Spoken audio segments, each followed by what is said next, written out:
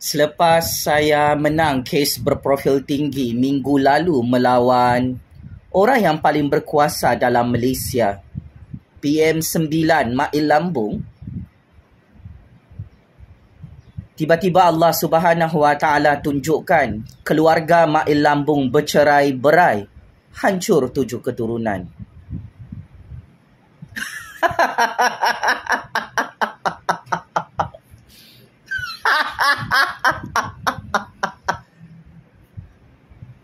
Akhirnya kun fayakun. Masin lagi mulut saya mail lambung. Selepas Hang menyerbu rumah saya satu tahun lalu secara politik, secara zalim tanpa ada warrant sampai Hang kalah dengan keluarga Hang dalam mahkamah melawan Jufazli Syih Ahmad. Akhirnya Allah Subhanahu Wa Taala turunkan bala dan malapetaka yang maha dahsyat. Keluarga Mail Lambung bercerai-berai dengan sangat-sangat hina Pak Cik Mak Cik Oto Aro.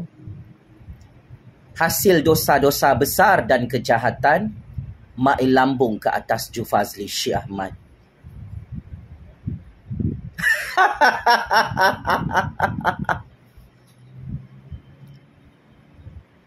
Mak Lambung. Oh, Mak Lambung. Hilang pergi mana? Lama juga hang masuk gua.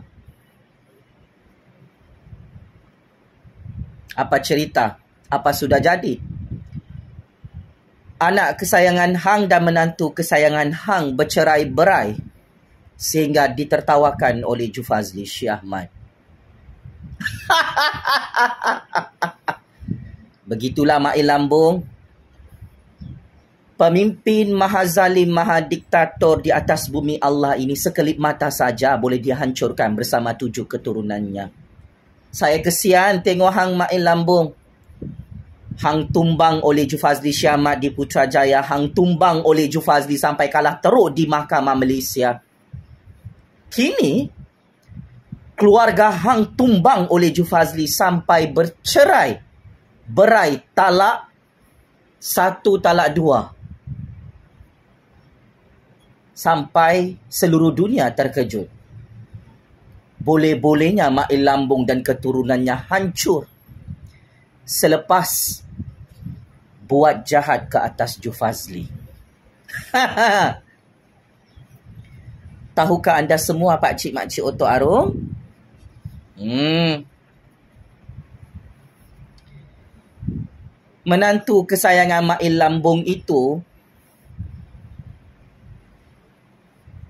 akhirnya mengaku bercerai dengan anak perempuan bekas PM9 Mail Lambung hari ini. Heboh seluruh Malaysia cerita pasal keluarga Mail Lambung ini bercerai-berai.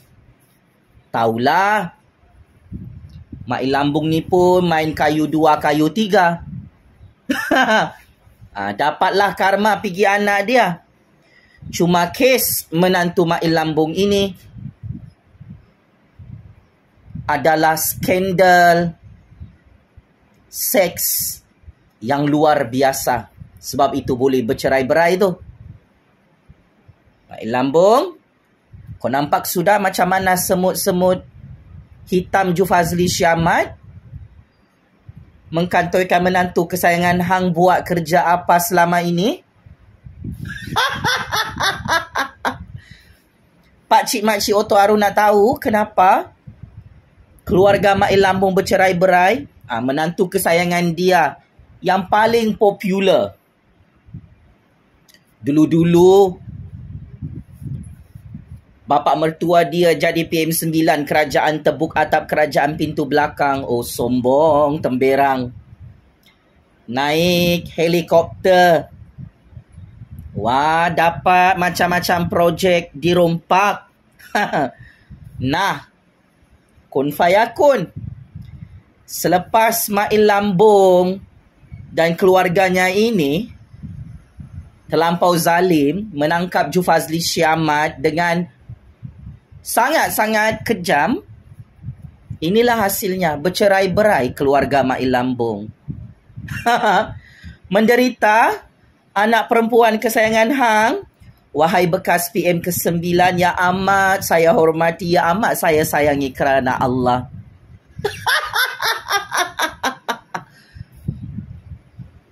Mau saya bocorkan rahsia kenapa menantu kesayangan Mail Lambu yang sangat famous tu bercerai dengan anak perempuan dia? Ah, amaran awal, jangan tengok video ini sampai habis. Bahaya. Boleh sakit jantung itu kalau kau tengok video ni sampai habis Pak Cik Mak Cik Oto Arum, Mail Lambung. Oh, keturunan pengkhianat petualang penyamun penyangak maha zalim maha diktator main tarik tali dengan Ju Fazli akhirnya penggal kepala diri sendiri kan? Bercerai berai kan? Kita pendekkan cerita. Berdasarkan maklumat sulit high credibility. Menantu kesayangan Mail Lambung dan anak perempuan kesayangannya bercerai berai hari ini hancur rumah tangga mereka adalah kerana menantu Mail Lambung kantoi jadi gay dalam Malaysia. Apa bukti dia? Ini bukti dia Pak Cik Mak Cik Oto Aro. Saksikanlah buktinya.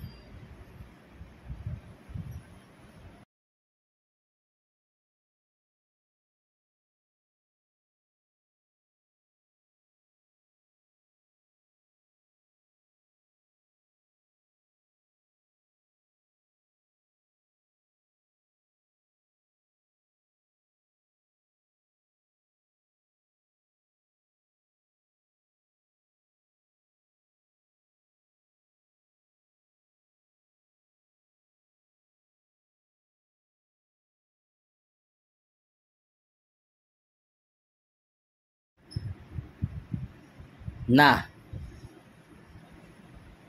Memang hancur ini kali. Tujuh keturunan Mail Lambung.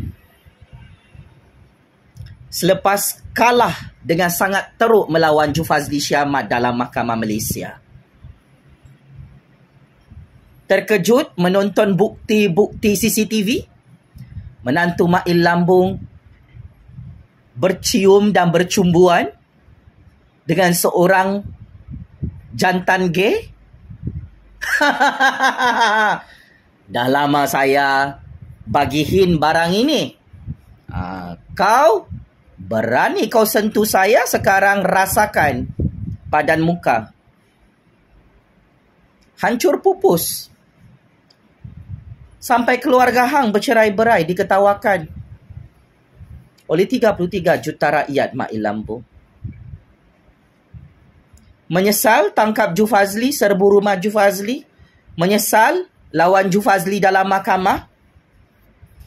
Teruskan jadi pemimpin yang jahat, jadi pemimpin yang zalim. Saya memerhati gelagat anda. Mak Lambung yang hancur berantakan keluarganya hari ini selepas kalah lawan Jufazli di Mahkamah Kuala Lumpur minggu lalu. Bahaya. Mulut berbisa Jufazli Syamat ni Pak Cik Mak Cik Oto Arum. Kau tengok Tun M tu Muhyiddin Tok Guru Hadi Bawang. PAS Bersatu Perikatan Nasional Pejuang tu. Syed Saddiq Parti Muda tu hancur dan pupuskan. Nak sangat lawan Jufazli. Ha, masuk perangkap sendiri. Kini Ma'il Lambung entah hilang ke mana. Selepas kalah lawan Jufazli Syamat PN ke-9 ini, uh, malu-malu kucing nak mengaku keluarga dia berantakan bercerai-berai dalam Malaysia. Mak Lambung, sepandai-pandai tupai melompat akhirnya jatuh ke tanah jua. Sepandai-pandai Hang menzalimi saya, sampai Hang mati tujuh keturunan semut-semut hitam saya, akan hancurkan hang sekelip mata. Macam mana boleh bocor tu bukti CCTV? Menantu kesayangan hang yang paling famous dalam Malaysia bercium dengan jantan gay? Tolong jawab. Jangan tak jawab. Ini skandal politik panas ni. Berani-berani kau lawan Jufazli Syamat, Kingmaker baru politik Malaysia, Kingmaker baru politik dunia dalam keadaan keluarga Hang ini sangat-sangat kotor, banyak skandal. Orang-orang saya tidak akan lepaskan Hang Mail Lambung. Lebih-lebih lagi Hang sudah kalah lawan Jufazli Syamat dalam mahkamah Kuala Lumpur. Siapa makan cili, dialah yang terasa pedasnya. Apapun pengajarannya, ingat, wahai seluruh dunia, anda bakal menyaksikan semua pemimpin dan penguasa yang maha zalim menyentuh saya dalam percaturan kuasa dunia ini. Saya akan pancung kepala mereka satu persatu bersama tujuh keturunan mereka. It is too much. All of you cross the red line. Penyamun, penyangak, perompak tak sedar diri. Keturunan Ma'il Lambung yang hancur keluarganya bercerai-berai hari ini. Tak nak minta maaf. Selepas Hang dikantoikan oleh hakim. Melakukan penyalahgunaan kuasa serbu rumah Jufazli tanpa warrant memfitnah Jufazli dalam mahkamah, mereka-reka kesalahan jenayah Jufazli yang tidak ada, jenayah ini, hang kala dua kes berprofil tinggi Ma'il Lambung. Ini bukan kes kecil, ini bukan kaleng-kaleng punya kes politik.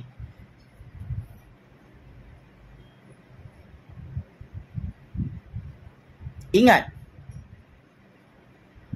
siapa-siapa tidak berhenti merompak, mencuri harta rakyat dan harta negara saya, esok lusa kepala kalian kena pancung sampai mati. Mark my word, saya sudah mengarahkan orang-orang saya untuk melihat satu persatu. Musuh negara, musuh rakyat yang berani-berani memejak kepala Jufazli Syamat di dalam negara ini. Bagus kau lari dengan tujuh keturunan kau. It will happen. So, ada dua pilihan.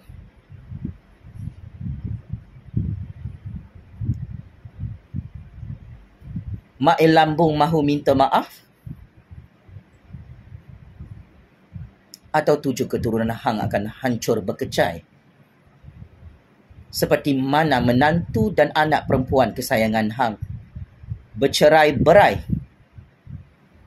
Selepas kantoi jadi lelaki gay LGBT dalam Malaysia. Oh ya, menantu Hang pun berani ceraikan. Anak Hang Mai Lambung sebab Hang dah tak jadi Perdana Menteri. Kerajaan Tebuk Atap di Putrajaya. PRK Parlimen Kemaman sudah tamat so menantu hang pun dah fikir oh bapa mertua ai dah tak jadi perdana menteri. Bapa mertua ai sudah kalah lawan Jufazli. Itulah menantu hang berani-berani masuk campur urusan mahkamah Jufazli. Ambil kau. Kantoi semua. Checkmate and masuk perangkap seratus kali. Ma'il Lambung dan tujuh keturunan keluarganya. Yang hancur berkecai dalam Malaysia sampai bercerai berai talak tiga. Allahu Akbar, Allahu Akbar, Allahu Akbar. Game is over, Mak Ilambo. Terima kasih.